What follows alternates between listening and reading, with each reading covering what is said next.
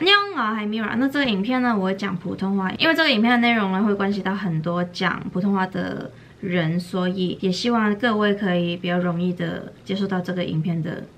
那现在是二零二零年的二月二号的凌晨，很紧急的打开相机拍摄影片，原因是因为武汉肺炎的关系，然后有很多人都问我，现在在韩国排华的现象是怎样？应该来韩国旅行吗？是不是所有地方都不欢迎中国人？去餐厅的时候是不是都有机会被赶出去？等等的问题。那所以现在就想要一次来回答大家。那目前韩国总统府青瓦台的官方网站的国民请愿有出现一个请愿书，题为请。请禁止中国人入境，这已经获得了五十三万五千人的连锁。这个请愿现在被归类为等待答复的这一栏。青瓦台还有多则的拦截患有武汉肺炎的中国旅客，关闭机场与港口等标题的请愿书。韩国现在真的有排华现象。武汉肺炎在爆发之后，到现在为止，在韩国已经出现了十二宗的案例。我是在上个月的二十号回韩国，那我那个时候已经有收到事情，说有些人在坐机场巴士的时候有被丢行李。我那个时候还想说，应该只是刚好偶然而已吧，因为毕竟韩国一直都其实有一群人是蛮排外的，就通常是没有那么接触到外国文化的人才会比较。有那个思想，以我出国这么多次，跟我住韩国这么久，我觉得那个比重其实是一半一半。好，反正这个不是重点。但我后来在网络上看到别人分享，就发现原来哎，排华的情况是真的有，有餐厅写着“全部因 Chu Lip No China”。然后也有看到说，韩国人与两名大陆人在碰撞之后有爆发语言冲突，大陆人说韩国人怒骂滚回中国去，那宣称是韩国人先动手。然后还有台湾人到韩国旅行，但是 check in 的时候被检查护照之后呢，就请他们退房，并且还指出说很多饭店已经不开放给外国人入住了。其实网络上也陆续有出现这一种的分享，那我本人呢，也在这个短时间之内也经历过两次。第一次其实是我当时没有留意到，是我事后才发现的。话说当天我跟我韩国朋友在咖啡厅里面点餐，我们是韩文、中文这样子混着讲话。一开始我们在讲韩文的时候，店员是很亲切，但是到后来我们可能中间有讲到一些中文之后呢，就突然发现店员哎变得很冷漠。然后我们去到别的餐厅时候，那些店员也是一样的反应。我当天其实是没有注意。是我朋友一直觉得有点奇怪，直到我告诉他这个事情，他才发现哦，原来是因为我们当时候有讲到中文。然后第二次是我跟一个香港朋友在新沙东那边在等巴士在聊天，我们两个的前面有一根柱子，然后那根柱子的旁边有一个韩国人在靠着，然后他听了我们讲话，然后这样子回头看我们，确认我们是外国人之后，然后马上。离开那个柱子，用一个很鄙视我们的眼神看着我们，然后马上逃到别的地方去。我当时都觉得说，天哪，我们是什么怪物吗？开始我以为只是普通话的原因，那没想到连讲广东话也会。被别人讨厌，其实蛮受伤的。但换一个角度想，其实也不可以完全怪他们。以一般韩国人听到普通话的话，其实很直接都会联想到哦，你是大陆人。他们不会知道说哦，原来香港、台湾或是马来西亚等等地方也是会有讲普通话的人。所以他们现在的意思就是，武汉肺炎等于大陆，等于普通话。所以现在在韩国讲普通话被排挤、被无视、被。讨厌的几率是真的比其他外语高很多。那另外其实也有其他网友说，就是有些地方有些餐厅，不管你是香港、台湾、澳门，或是大陆，或是哪里，就只要知道你是外国人，其实都不太欢迎，都不会接待。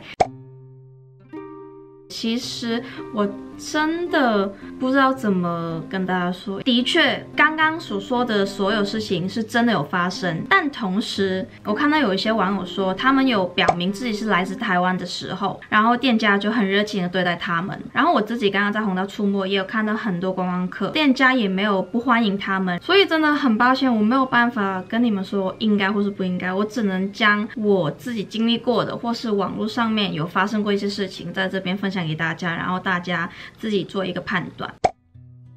那我只可以说，如果你的心脏是够强的话，觉得你自己可以忍受，未来这几个月在韩国有可能会遭受一些可能被排挤的这种情况的话，那我觉得你是可以来的。但是呢，我要跟大家说，因为刚刚一月二十七号，韩国政府对这个疫情的警戒登记从注意提升到警戒。不过在这之后呢，有开设语学堂的一些大学纷纷都宣布，为了防止跟中国留学生有接触，停止语言班课程。那韩国延世大学语言班二十八号宣布将临时停止语言班运行，西洋大学也表示将暂停运行语言班四天。太阳大学、高丽大学、首尔大学、釜山大学也宣布暂停临时语言班的培训。课程，所以已经报名来韩国读语学堂的各位，除了你们自己要考量到底要不要来。之外呢，也要看一下你们报的那个大学有没有把课程停掉。那这几天其实我有发现韩国人的反应其实有越来越大，因为从我二十六号回来韩国之后呢，我坐地铁，在我那个地铁的车厢内，我是没有看到任何一个人有戴口罩的，除了我之外。我想说，天呐，他们怎么这么的勇敢？但我这几天基本上我在路上目测，大概有九十趴的人都有戴口罩。然后如果身边有人咳嗽，都会马。上弹开超夸张，韩国确诊的人越来越多，感觉到韩国人对这个防疫的意识越来越重，同时的变得越来越敏感。那以上就是现在目前韩国的排华现象。很多网友在关心这个问题，韩国人或者是住在韩国的人呢，基本上都在网购。但是疫情越来越严重，其实现在连网络上也很难买得到。就是我自己，或是我身边的人，或是我看到网络上的人分享，他们都说买了东西下了订单之后被取消，所以我们现在处于一个买不到东西的状态，或者是你要等一段时间，但是你也不确定等的那段时间之后那个东西会不会来。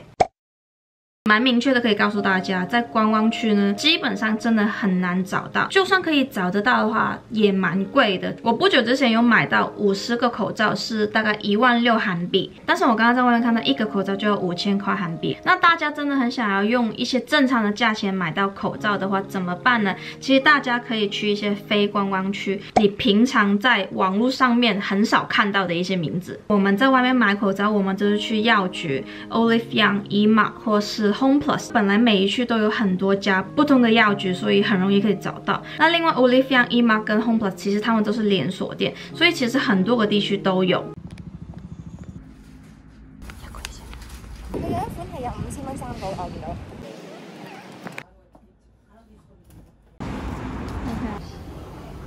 哇，发现到呢个九十九点九嘅抗菌啊，买啊，因为佢只系三千啊。好难买，因为上网买到细细嘅包装，可以抹手机，得分八十添。咁但系咧，有朋友同我系有过，佢见到有过过嘅。咁啱我哋唔好彩。然之后我哋头先去药局咧，有几间药局都有買嘅。非官方区嘅地方其实系比较多机会，比较大机会揾到。其实大家在 Google Map 里面直接打 e m a o 或是 Homeplus，就会看到哪个地方有，你们就可以挑一个比较靠近你们饭店嘅地方。那总结就是，现在大家出门一定要格外注意安全，不要用手碰脸、眼睛。鼻子、嘴巴，因为病菌就是从这个地方进入你身体。希望疫情可以早点结束。然后我自己的话，其实也是囤了三个月的量而已，就是不敢多买，因为防疫除了自己，其实身边的人也要一起做才能成功。我知道香港现在很缺口罩，刚好之前疫情没有那么严重的时候。我有成功买过一批口罩，然后也成功的送到香港的观众手上，但是现在也真的很难找到。然后就算是之前有一些人成功联络到口罩的厂商，然后订了很大一批货，但是结果中途也是被人拦截，最后没有成功送到香港。所以现在同事也很希望口罩的厂商可以赶快的知道更多的口罩，然后让更多的人。可以用到。好，那以上呢就是我今天的分享，那希望可以帮到大家喽。那如果喜欢这个影片的话，帮安一个赞吧，然后还有订阅我的频道，然后追踪我的 IG，就可以知道我的韩国生活，还有知道最新的韩国消息啦。那我们下个影片再见喽，拜。